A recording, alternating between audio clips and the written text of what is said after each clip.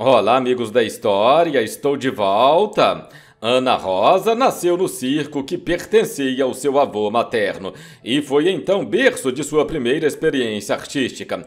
Dona de uma beleza natural, a atriz despontou na dramaturgia, fazendo inúmeras novelas. Entrou aos 22 anos na televisão interpretando a cigana Esmeralda na TV Tupi.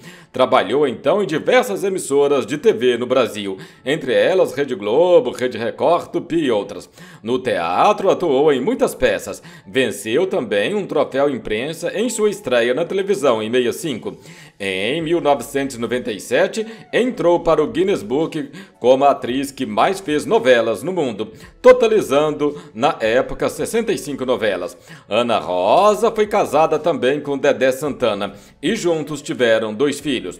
Ao lado de Dedé Santana, o casal passou por um momento muito difícil, a perda de seu primeiro filho, isto em 1961. Em 1995, outra tragédia marcaria sua vida para sempre. E este é o vídeo de hoje, a história da atriz brasileira que mais fez novelas no mundo. Que maravilha! Obrigado por se inscrever no canal e ativar o sininho. Eu sou Marcone Miranda. Pega aquele cafezinho e vamos para a história. Ana Rosa Gui Galego nasceu no dia 18 de junho de 1942. Atriz, bailarina, escritora, musicista e dubladora brasileira.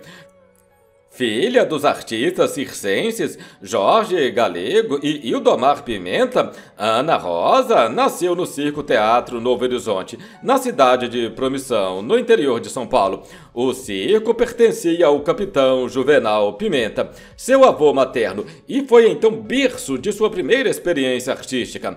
Aos 15 dias de vida, a pequena Ana Rosa foi levada ao palco durante a apresentação de um espetáculo teatral. O Mundo Não Me Quis, no qual representava um recém-nascido abandonado. A partir daí, seguiu os passos de sua família e, aos quatro anos de idade, já interpretou sua primeira personagem com falas. Aos nove anos de idade, além de atuar nos espetáculos teatrais, a atriz também trabalhava fazendo números no trapézio e no arame. Com apenas 16 anos, em 1958, Ana conheceu o comediante Dedé Santana, com quem se casou no ano seguinte. O casal teve dois filhos, Maurício e Maria Leone. Com Dedé Santana, excursionou trabalhando como bailarina com o circo de revista real. Em 1960, Ana Rosa e Dedé Santana inauguraram a TV Alvorada em Brasília. E na inauguração apresentaram juntos, ao vivo, diversos números circenses e teleteatros. Após um ano morando junto, um acontecimento marcaria a vida do casal para sempre. E eles foram às pressas para São Paulo, onde Maurício, o primeiro filho do casal, veio a falecer vítima de leucemia, no dia 14 de fevereiro de 1961.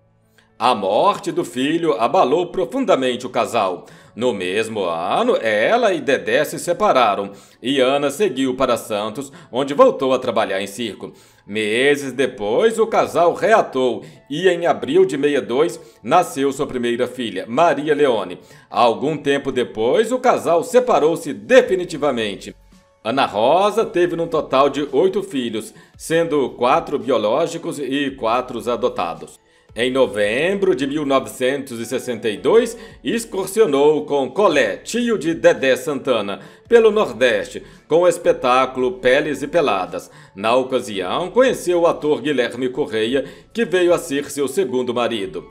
Em 1964, foram viver em Porto Alegre. Durante as décadas de 70, 80 e 90, Ana conciliou seu trabalho em TV com espetáculos teatrais, como Uma Janela para o Sol, Os Inimigos Não Mandam Flores, Os Marginalizados, entre outros. Sua trajetória profissional confunde-se com a história da televisão brasileira. Em 1964, recebeu o convite de Cassiano Gabos Mendes, então diretor artístico da TV Tupi, para protagonizar Alma Cigana, no qual ganhou o troféu imprensa de revelação do ano. A novela foi a primeira da emissora gravada em videotape e transmitida diariamente em horário nobre, logo se transformando num fenômeno de audiência. Após a excelente audiência de sua próxima novela, Se o Mar Cantasse, a atriz passou a fazer parte do elenco da TV Tupi. Durante um período de separação com Guilherme Correia, Ana Rosa adotou José Ricardo em 1966, Maria Luísa e os gêmeos José Rodrigo e Maria Letícia em 1971, adotando quatro filhos. Em 1975, Guilherme Correia mudou-se de volta para São Paulo e os dois retomaram o casamento. Em 1976, nasceu a primeira filha do casal, Ana Luísa. Em 1979, Ana e Guilherme casaram-se oficialmente. Em 1971, nasceu Ana Beatriz, a caçula de oito irmãos. Ana Rosa trabalhou na TV Tupi durante 16 anos, onde atuou em 28 telenovelas e inúmeras produções, como TV de Vanguarda, TV de Comédia, Grande Teatro Tupi, entre outras. Ainda em 1997, a atriz entrou para o Guinness Book como a recordista em números de trabalhos em telenovelas gravadas em videotape, como protagonista, coadjuvante ou participações especiais. Na internet, relata que ela fez num total de 65 novelas. A atriz também atuou no cinema, onde trabalhou em filmes como Quatro Brasileiros em Paris, de 65, Os Diabólicos Herdeiros, de 66, O Pequeno Mundo de Marcos, de 68, dentre outros filmes. No ano em que a atriz completou suas quatro décadas de carreira como atriz, ela comemorou com o lançamento do livro Essa Louca Televisão e Sua Gente Maravilhosa, que conta então sua trajetória e relembra suas passagens marcantes e histórias curiosas vividas na televisão, com depoimentos de vários artistas e profissionais da área. Depois do término com Dedé Santana, Ana Rosa casou-se com Guilherme Correia, com quem ficou por mais de 30 anos, até sua morte em 2006. No ano de 1995, Ana Rosa viveu outra tragédia que marcaria sua vida para sempre: a morte de sua filha Ana Luísa, que foi atropelada aos 19 anos de idade e não resistiu. Na época, a atriz não aceitava a morte da filha e entrou em um estado de negação, estado de depressão. No entanto, a atriz encontrou força na religião espírita para poder superar. Sou e serei eternamente grata ao meu Pai do céu, porque fui agraciada com muitos sinais de que a separação é apenas temporária. Alguns dias após sua passagem, entrei em seu quartinho, que ficou inundado pelo cheiro de rosas. Foi olhar pela janela, mas o cheiro não vinha de fora, estava ali dentro. Era sua presença. Com relação ao casamento, Ana Rosa decidiu ficar sozinha desde a morte de Guilherme Correia, que faleceu em 2006. Atualmente, em 2022, a atriz encontra-se com 80 anos de idade. Este foi o vídeo de hoje, a história da nossa atriz brasileira, que hoje é recordista mundial em novelas. Em uma matéria publicada na internet em 2015, podemos encontrar os 10 atores que mais fizeram novelas. Vale lembrar que essa matéria é do ano de 2015. Tarcísio Meira aparece em décimo lugar com 46 aparições.